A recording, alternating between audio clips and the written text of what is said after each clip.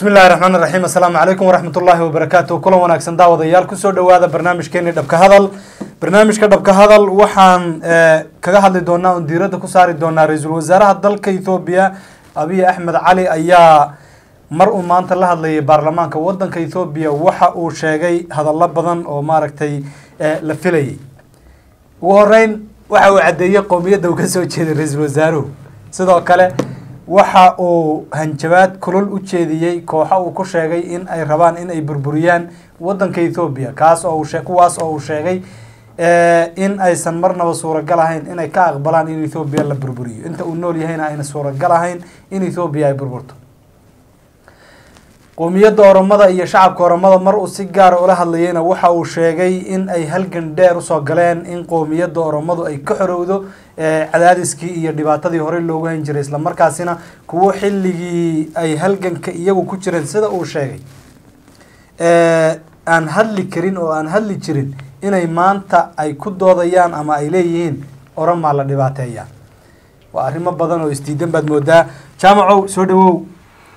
Ra'iisul wasaaruhu xilli mu u soo halgamay in oromo xorowdo yo markii uu xilaalka hayay wuxuu moodayaa inuu halgan ku jiro show ya xilaalkii uu halgan u haystaa. Hay sidan hadda halgan buu ku jiraaba saanuba halgan ku saan jira halgan uu ku jiraaba sida isaga ay la tahay weeye sida uu maanta isagu yar muujiyey. Wuxuu yidhi maanta hadalladii uu jeediyey horta waxay ahaayeen hadallo qaarna la filayay intooda badanna aan looba fadhiinba aan meeshaba laga sugeyn wuu abtirsan cidina isma lahayn. Waay tu soo fadhiistay.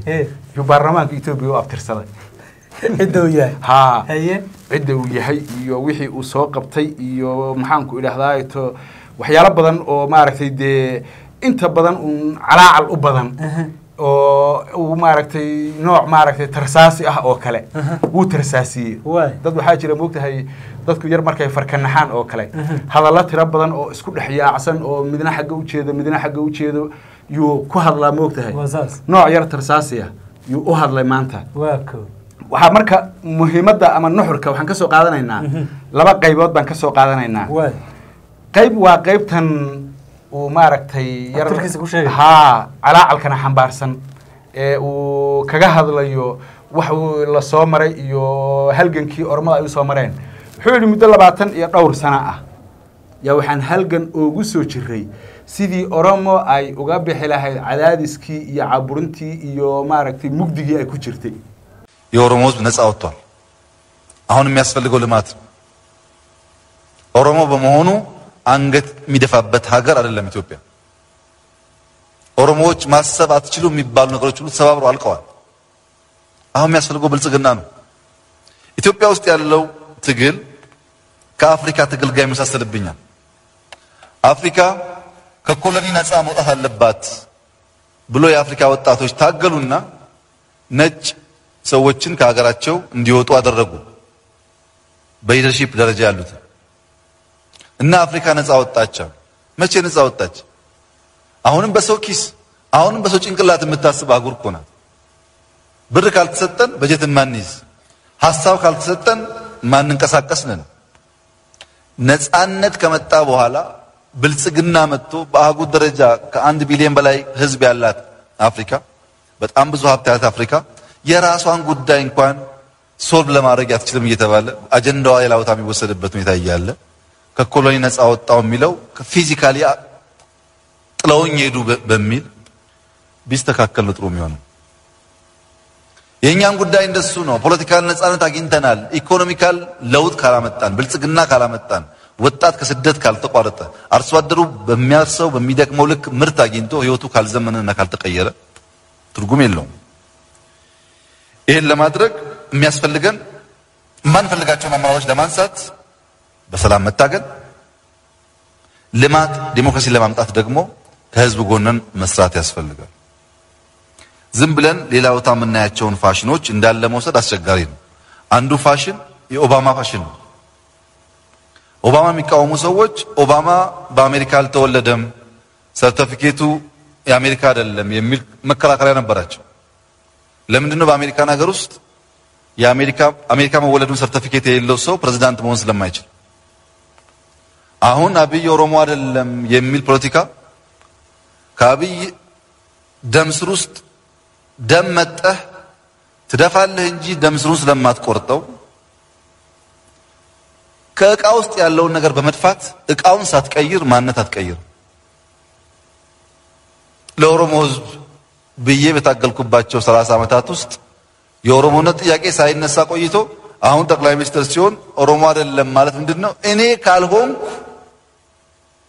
ሌላ ሰው ኦሮሞ አይደለም የሚል ነው። ኔክስት ይመጣውም እንደዛው ነው ማለት ነው። የኔ ኦሮሞነት ሰው የሚሰጠኝ የሚከለክለኝ አይደለም። በነገራችን ላይ ለኦሮሞ ህዝብ የማይጠቅም አብይ ለአማራ የማይጠቅምም፣ ለወላይታ የማይጠቅምም፣ ለጉራጌ የማይጠቅምም፣ ለማንም አይጠቅምም። ውሸት ነው። ለራሱ የሚጠቅም ራሱን የሚያከብር ከሌሎች ጋር በእኩልነት ለመኖር የሚያስብ የኢትዮጵያ ህዝቦች ወንድማማች ናቸው፣ በጋራ ማደግ አለባቸው የሚል አብይ ነው ሌላው ብሔር የሚፈልገው እንጂ ማንነቱን የካደ አብይ ለእኔ ጠቅመኛ ብሎ የሚያስብ ሌላ ብሔር ያለ አይመስለኝም። ካለም ስተት ነው። እኔ የኦሮሞ ህዝብ ነፃ እንዲሆን እኩል እንዲሆን ወጥቶ ሰርቶ እኩል ሊጠቀም አምኜ የታገልኩ ሰው ነኝ። ግን የኦሮሞ ህዝብ ሌላውን እንዲጎዳ እንዲጫን አስቤም ታግዬም አላውቅም። ከወንድሞቹ ጋር በጋራ ሆኖ ኢትዮጵያን መቀየር ይችላል የሚል ሙሉ እምነት ነው ያለኝ። በዛ መንገድ ነው እየሄድን ያለው። በዛ መንገድ ነው እየ hadda ogow dhowr iyo labaatankaa sane ee uu sheegahayo cidda wax cadaadinaysay amaba loo adeegsanayay cadaadiska oromada isagaa kow ka ahaa oo madaxii sirdoonka internetka hay-addii ama wakaaladii sirdoonka internetka ee etoobiya aasaasayaasheediibuu ka mid ahaa isaga iyo kan hadda madaxweynaha maaragtay tigreega ah. Waxay ahaayeen aasaasayaashii waaxda ama wakaaladda sirdoonka internetka ee etoobiya ee ururinta xogaha iyo macluumaadka. Dhammaanba cid kaste oo mucaaradsan etoobiya hadday dowlad tahay iyo hadday maaragtay shakhsiyaad tahayba shisheeye iyo sokeeyaba. Waay dadkii waxaa ka shaqaynayey buu ahaa. Dadkii loo adeegsanayey ee loo isticmaalayey Mhm. wakaaladii sirdoonka etoobiya ee maxaanku idhahdaa lagu jaajuusi jirayna Mhm. oromay u badnaayeen. Dadkii jaajuusayey ee u soo maaragtay xogahooda soo gudbinayey ee kolba meeshii ay wax marayaan la socdayna. Mhm. isagaa kow ka ahaa. Marka tiibo wuxuu nooga dhigay halgan oo uu dadka u sheegay uu yidhi halgan ba waxaan ugu jiray dhowr iyo labaatankaa sane ee aan shaqooyinkaa kala duwan ka soo shaqaynayey oromaan halgan ugu jiray way maqlayeen iyagu kolley soo maadan garan wuxuu kale oo sheegay in dad maanta qaylinaya oo ku dhawaaqaya oromaan nahay oo le waa halgamaynaa oo le oromaan xoraynaynaa. Mm. in xilligaa isagu markuu halgamayey ay miiska hoostiisa ku jireen waa runtii isagaa miiska laga hoos galay iyo dad lamida dadku eryanaya wey yaa miska laga hoos galay haa isaga iyo kuwa lamida dee. Kuwii wuxuu yidhi waagaa aan hadli karin ee aan juu dhihi karin ee isgaabinayay ee cabsanayay markaan anagu halgamaynay yaa maanta waxay la soo taagan yihiin buu yidhi oromaan u halgamaynaa oo xuquuqdii iyo maxaanku idhahdaa to cadaaladii ka maqnayd oromaan soo dhicinaynaa isaga maana laga cabsanaya marka? Isaga un baana laga cabsanaya iyo dee keligii Xerta baahayna dee haa isaga iyo iyo xertiisii. Okay waxaa kale oo uu yidhi waxay leeyihiin buu yidhi abiy axmed ma aha oromo. Waxaan ahay buu yidhi anigu oromo wiil oromo ah oo ku faanaya oromonimada oo u soo halgamay sidii oromo ay uga hoos bixi lahayd dulmigii iyo cadaadiskii waanan ku faanayaa inaan ahay oromo waxaanan etoobiya hogaaminayaa aniga oo ah wiil oromo ah. Oo aan diyaar u ahay qowmiyadda oromo in aan maxaanku idhahdaa heer gaadhsiiyo waa wixii aan u soo halgamay. Laakiin oromo buu yidhi heer kuma gaadhayso burburka etoobiya aniguna waxaan diidanahay waa burburka etoobiya oromo maanta uma baahna buu yidhi dagaal iyo rabshad iyo qaylo ay koox qaswadayaal ay kiciyaan waxay u baahan tahay buu yidhi. Horumar iyo cadaalad iyo sinaan iyo barwaaqo taasoo ah buu yidhi midda anigu aan ka shaqaynayo. Iyo inay nabad kula noolaato shucuubaha haa iyo inay maaragtay nabadgelyo iyo walaalnimo kula noolaato walaalaha kale etoobiya anoo marka oromo ah anigoo ah soo u soo halgamay oo ah halgamaa oromo ah aniga oo xuquuqda iyo midnimada iyo jiritaanka oromo raadinaya yaan haddana waxaan diyaar u ahay inaan walaalaha kale etoobiya ku hogaamiyo horumar iyo barwaaqo. Somaa garan? Waay. oromonimadiisiibuu maanta wuu ku dhaartay dee iyo shaki bay geliyeen mo adiga waxta waad ku jirtaa kuwa shakiga geliyeen oo ka cala maanta ka cabanaya somaa garan marka waxay dooniba ha noqotee maanta si fiican buu u abtirsaday baarlamaanka etoobiya shacab weynihii etoobiya oo wada daawanaya ayuu fagaarahaas ka hadlay waxaan malaynayaa marka inuu soo afjaray abiy axmed oromo ma aha soomaadan garan haddii oromo ka yeeshe Hey. yo kama yeelahayaan miya oromo isaga ka yeelaan way adag tahay calaa ayati xaal wuxuu yidhi axmaara buu yidhi. Ma ogolaanaysa buu yidhi inuu hogaamiyo nin qabiilka uu yahay ka cararaya buu yidhi. Seen uga cararay buu yidhi marka anugu oromo. Waa ku faanaya oromonimada. Nin walbana qoomiyadda uu yahay iyo qabiilka uu yahay isaga oo ku faanaya oo tunka uu u saaran yahay ayay haddana waxay tahay buu yidhi inuu midnimada iyo wadajirka iyo etoobiya danaheeda Mhm. inuu ka shaqeeyo. Aniguna taasaan u taagnahay wuxuu kale oo dhaliilay amaba uu maaragtay u hanjabay kooxaha mucaaradka gaar ahaan garabka hubaysan ee jabhadda olf oo uu sheegay in maanta ay doonayaan wixii laga soo gudbay inay oromo dib ugu celiyaan oo ay qori qaataan. Wuxuu ku dooday oo uu goobta ka sheegay in oromo maanta aysan dulmi qabin in oromo maanta aanay ku jirin gumaysi in oromo maanta aanu jirin cadaadis iyo caburin iyo cagajuglayn haysata. Shaqooyinkan hadda uu qabanayo tarow muxuu u yaqaanaa? Markuu yidhi oromo maanta gumaysi kuma jirto cadaadis iyo caburin iyo cagajuglayn iyo dhibaato midna laguma hayo oo waa xor markuu yidhi. Shaqadan hadda isaga uu qabanayo tarow muxuu u yaqaanaa? Tan wuxuu u yaqaanaa waan u malayn maxaanku idhahdaa horumar barwaaqo baraare. In magaalooyin dhan la dumiyo in dad badan oo shacaba oo aan waxba galabsanin oo xuquuqdooda u doodaya la laayo in maxaanku idhahdaa to boqolaal siyaasi iyo maxaanku idhahdaa to kumanaan ganacsade iyo aqoon-yahan iyo waxgarad iyo siyaasiyiin caadiya isugu jira xabsiga lagu guro. Arrimahaas isaga wuxuu u yaqaanaa horumar iyo cadaalad iyo sinaan. Sida uu maanta sheegay amaba ka dhadhamaysay hadalkiisa. Waay sababtoo ah waxaa taagan cadaadiskii waxaa taagan caburintii waxaa taagan dilkii oo aan aabayeel lahayn waxaa socda dumin magaalooyin dhan oo oroma leedahay. Waxaa jira wax kasta oo dhibaato ah oo bahdilaad iyo maxaqiraad ku ah ummad. Waxaa lagu tilmaami karaa waxa hadda ka socda deegaanka oromada gaar ahaan gobollada galbeed. Xasuuq bini aadanimada ka dhan ah. Somaa garan? Waxaan horey u sheegnay in magaalooyin dhan la dumiyey waa xaqiiq. Miyuusan ogeyn marka dhibkaa lagu hayo oromo ee isagu uu amray wixii isagu uu amray dadka lagu samaynayo.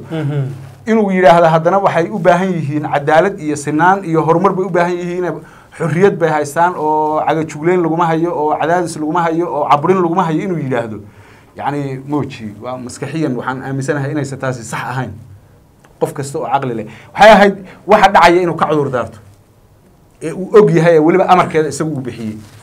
Oo yidhaahdo dhibaatooyinka hadda socda ee amni darro iyo khalkhalka dhibaatada keentay in maxaanku idhahdaa ta laga waantoobo dadkii ku dhintay iyo dadkii ku waxyeeloobay iyo kuwii hantidoodu ay ku burburtayna waan oga cudur daaranaynaa waana ka tacsiyeynaynaa inuu yidhahday ahay. Laakiin meesha wuxuu la soo fadhiistay horumar barwaaqe badhaadhe iyo barkhad aanay la ogeyn meesha ay ka jirto. Waa mid aan xaafadiisa dhaafsiisanayn iyo isaga afkiisa malahayga haa horta meesha ma arad kilo baa la ha madaxtooyada Ay. arad kilo marka waa maxay? Waa afar kilometer. Kilomitr afar? Ha. Saasay u dhigmaysaa? Saas u dhimaysaa calaa ayati xaal jabhadda yuu eedeeyey. Wuxuu yidhi nimankaa qoriga la ordaya kuma gaadhayaan buu yidhi. Ma aaminsani? buu yidhi. Inay guul ku gaari doonaan qoriga ay la ordahayaan buu yidhi. Intay duurka u baxeen oy banaanka tageen buu yidhi. Inay dad soo xabadeeyaan oo meelaha ka soo qaylqayliyaan guul laguma gaadhayo buu yidhi guushu waa tii annagu aanu u badheedhnay ee aanu u soo halgelinay ee aan naftanada u hurnay buu yidhi. Markii dambena aan keennay isagu meeluu ku soo halgamay maba hayne haddii lacalla ay jirto oo uu ka mid ahaa tiam lama kooxdii la dhihi jiray iyuu qayb ka ahaa markii la fiiriyo. Haa. Waayo lamu ku-xigeen u ahaa. Haa. Mhm. laakiin halgankii gudaha oromiya ama gudaha etoobiya ka socday Mhm. markii uu socday raggii hogaaminayay waa la yaqaanaa kow waxaa ka ahaa abaadhala abaadulla gamadha miyaa la yidhahda wax noocaasa Mhm. Raisal- eh, ninkii gudoomiyaha baarlamaanka ahaa Mhm. ee intaas casilay ee xilkii ka degay Mhm, u istaagay haa waa. u istaagay xuquuqda oromada iyo sidii ay u heli lahayeen xaqooda lama magarsa oo madaxweynaha maamulka Oromada. ah iyada oo ciidankii etoobiya oo dhan la geeyey deegaanka oromada kala badh oo maleeshiyaad tiro badan oo oromo ah iyo militarigii etoobiya inta isgarabsadeen qorshuhu yahay oromo say tahay loo xasuuqo yuu ka soo horistay oo vito u isticmaala oo yihi hal askari oo xabad ku ridi kara male shacabka loomana baahna militariga wax ka baxaan deegaankanaga ciidankii iyo maxaanku idhahda maleeshiyaadkii oromadana intuu kala hadlay idaacadda yidhi dadku waa dadkiinii raaca iyaga ammaankooda ilaaliya. Hal qof oo la dili karana ma jiro ama wax la yeeli karo ama la xidhi karo. Systemkiibuu ku dhex dagaalamay. T b l f ay hogaaminaysa ee e b r d f sooma garan. Rag xaynhay ahaayeen. Abi axmed kooxdaas qayb buu ka ahaa. Laakiin isagoo hogaamiye ma ahayn hormuudna ma ahayn. Raggii hogaaminayay ee hor socday ee maxaanku idhahdaa to baangadaha watay waa la garanayaa waa la yaqaanaa waxay ahaayeen meel walba taagnaa. Kuwana waxay ahaayeen mucaaradkii oromada ee xabsi ujoogga ahaa oo ay ka mid ahaayeen kuwan hadda u xidhxidhan. Ee uu ugu horeeyo baqala garba. Baqala gabra baqala garba uu ugu horeeyo sooma garan marka calaa ayati xaal fursad iyo janis buu u helay maanta inuu Saa u hadlo. ha saa u hadlo oo uu faano. Sideedana wax nin ku soo dhibtooday nin baa dheefsada. Dheef isagu uuna soo shaqaysanin oo uuna u soo waxay qaylo ka baxda adogeyd baa xabsi ku jira isagana waa. Shan sano wuxuu fadhiyey live shan sano mutawaatira Mhm. yuusan ka kicinba. Barqadii subaxii galabkii habeenkii casarkii uu saacad walba taagnaa yacni shanqadhii iyo dhaba uu soo tabinayey maantana xabsi buu ku jiraa haa. Soo garan. Yoomiye kii la xidhayay markii dambena shan sano xabsiga ku soo qaatay baqala garba iyo maxaan ku dhahay miraara godina bay ahayd. Miraara godina wixii loo xidhay ee xabsi daa'inka loogu xukumay waxay ahayd wuxuu la kulmay jawaar maxamed. Yuu london kula kulmay. Intaasaa loo xidhay? Intaasaa loo xidhay oo loogu xidhay cimri madaxaha ku furta weliba. War may waay raggii noocaas ahaa midna waa xabsi guri midna waa jeel buu ku jiraa oo waa maxkamaddu u ballansan yahay. Afar iyo tobankii casho maalin baa rabaa in maxkamad la keeno. Marka fursadaha maaragtay yaa dee kala ah. Rag waxay u soo rafaadeen ay u soo dhinteen ay u soo dhaawacmeen ay u soo dhiig baxeen yaa rag meel cidlaa ka qaata. Markaasay haddana maanta u faanayaan. Marka waktigaa ku simay innagana inugu simay abiy axmed oo maanta ku faanaya in uu u soo halgamay oromo oo oromo xuquuqdeeda iyo xaqeeda uu u soo dagaalamay oo shan iyo labaatan sano ku dhowaad weliba u soo u soo halgamay. halgamayay ha waa waktigaa inugu simay calaa ayati xaal waxaad moodaa abiy axmed xaqiiqooyin badan inay hor yaallaan uu garawsaday cadaadiska iyo maxaanku idhaahdaa kacdoonka qoomiyadda oromada ka imaanaya ee uu maanta dareemayna Mm. in uu yahay mid aan dhayal ahayn duruuftuna ayna u saamaxaynin inuu sii joogo. Waxyaalihii uu ku hadlay waxaa ka mid ahaa wuxuu yidhi waxay yidhaahdeen buu yidhi oromo ma aha ninkan oo xaq uma laha inuu kursiga hayee. Ha ka dego waa inaan maxaanku idhaahdaa to Qof qof oromo ahan keensanaynaaye haye. Soo ma garan. Waxay ku tusinaysaa hadalladaasi yacni meesha ay ka gaadhay. haa bartii ugu dambeysay dee meel kale. Inuu maaragtay derbiga soo taabtay. Ay. Calaa ayati xaal hadalladaasi calaacalka iyo maxaanku idhaahdaa tamana sheegashada iyo hanjabaadda iyo wax walba isugu jiraahi. Nooc tarsaasiga ka mid ah ay ahaayeen. Nooc yar maaragtay qof guul daraystay siyaasad ahaan. Mhm. oo maxaanku idhaahdaa to eh, kolba dhinac u ordaya Mhm. oo kale. Mhm. unbaan anigu u fahmay. Soo ma garan? Waay iimana muuqato sife hadda hadalkaasi uu wax kaga bedeli karayo Mm. xaaladda etoobiya gaar ahaan xaaladda qoomiyadda oromada dareenkeeda kacsan iyo shucuurteeda iyo sida ay ooga go-an tahay Iyo sida ay ooga go-an tahay in ay dib u saxaan wixii khaldamay xilligii isbeddelka khaladka koowaadna waa imaanshihii abi axmed taa wuu yaqiinsaday sababtoo ah etoobiya waynu naqaanaa kolba qoomiyadda talada haysa qofka ka soo jeeda yacni qoomiyadda markaa qofka talada hayo qoomiyadda uu ka soo jeedo yaa talada etoobiya gacanta ku dhigta. Awoodaha ugu badan iyo maamulka iyo hogaaminta cidda wax maaragtay taladu ay ka go-do waxay noqotaa rag ka soo jeeda qoomiyaddaas isagu qowmiyaddii buu iska ilaaliyeyba. Oromadii kii uu meel u dhiibtayna intooda badan wuxuu ka dhigay sida lama magarsa oo kale yacni qof una xabsi guriga laga ilaaliyo inuu hadlo inuu dhaqdhaqaaqo inuu wax sameeyo oo kale yuu ka dhigay. La taliyayaashiisa iyo dhammaan ragga culculus ee siyaasadda etoobiya saameynta ugu weyn ku leh waa axmaaro wasiirkii hore ee arrimaha dibadda etoobiya ee oromada ahaa intuu meeshii ka eriyey buu mid axmaara keenayo waxaa loo madaluufiyey igad iyo miyaa wax noocaasa yaa laga dhigay. Mhm.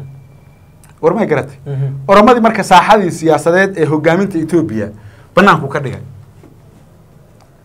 isagoo keligii wiil ah keligii qoomiyad ah yaa soo hadhay keliga qoomiyada ha qoomiyadda ormada in isaga matalahayeen kuwa kale Hey. waxba kama jiraan buu Hey. yidhi waa keligii wiil waa keligii qoomiyad waa keligii waxgarad waa keligii hogaamiye waa keligii caaqil waa keligii aqoon-yahan waa keligii wax walba cid allaale iyo ciddii uu ka shakiyey Mm. Ee uu is yidhi alla xoogaa dadnimo ahaa ku jirta. Alla meesha maaragtay way qooraansan karaan. Taakuu isaga dhigay.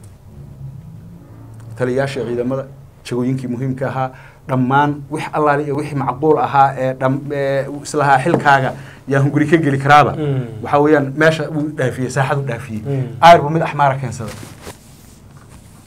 waxa marka loogu xaglinayo maaragtay oromonimada maaragtay looga eryayo. Mm. waxaa kow ka ah Mm. meeshii nin oromaa uu ka qaadaba nin axmaaruhu geynayaa ama meeshii uu nin oromaa ka qaadaba wuxuu keenayaa nin kale oo isaga daacad u ah. Waa qolaba sibuu ola dhaqma mogta oromada meeshuu ninka oromada ka qaada nin axmaaruhu keenaa. Qof tigree ah meeshuu ka qaadana mid soomaalihu keenaa. Aad baad umahadsan tahay jaamaco waayahay arrintani maxay ka bedeli kartaa? Marka hadalkan ugu dambeyn qiiro shalay waxaynu sheegnay inay saddex beri qabatay maxay ka bedeli kartaa arrintii qiiro ay ku dhawaaqday arrintan? Wallaahi niyow aniga kolley aragtidayda sida ii muuqata. Mm. waxba kama bedelayso sababtoo ah qiiro iyaga qorshaa u yaalla. Mana aha arrintan arrin qiiro keliya laga yaabaa hadalkan inuu cabsigelin shacabkeena. Wuu ku jiraa laakiin ma shaqaynayo dee waxaa loo baahan yahay cabsigelintu qofka bini aadamkii. Xad waxaa jira markuu gaadho ayna cabsiyi jirin. Waa. Oromo waxay gaadhay derbigii ugu dambeeyey soo taabatay waxaad la laayey la xasuuqay awooddii ugu dambeysay loo adeegsaday waa iyaga. Waxa magaalooyinkoodii la burburiyey dhulkoodii cardaadiqaha laga dhigay waa iyaga. Waxa ka dhigahayana waa shaksi iyaga qowmiyaddooda sheeganaya somaala garan. Mhm. haddii yacni maogtahay qof kale uu ahaan lahaa? Mhm. Ama qowmiyada qowmiyada. kale uu ahaan lahaa? Mhm. waxbayba ahaan lahayd maogtahay hadda waa maradaadu kugu gubatay baa haysata oromo. Way ku khasban yihiin marka in ay sii laba jibaaraan halgankooda iyo kacdoonkooda si ay ninkan isu dhaafiyaan. Sababtoo ah hadda wixii meesha ka dhacaba oromaa dhigtay baa la leeyahay oo meel kale u raacdan male waa inay iyagii marka islaayaan. Oo ayma u kala baxaan gaadhiya islaan ama ay u kala baxaan gobol gobol si marka taa looga digtoonaado taasina ayna u dhicin maskax bay isticmaalayaan waa inay ninkan isdhaafiyaan. Oo meesha isaga ay ka saaraan. Marka kadib ciddii kale imaanaysa ee taladii lagu wareejinayahay Mhm. waa gooni. Mhm. hadduu isku dhejiyana etoobiya way burburaysaa.